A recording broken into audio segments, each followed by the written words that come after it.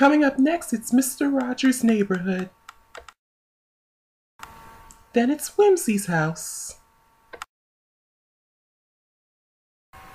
And later on, Sesame Street. On WEIP Channel 20.